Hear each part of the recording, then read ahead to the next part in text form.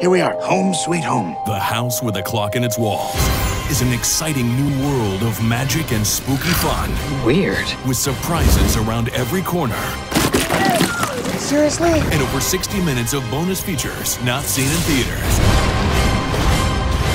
The House with a Clock in Its Walls, with an alternate opening and ending. On digital November 27th, on Blu ray and DVD December 18th.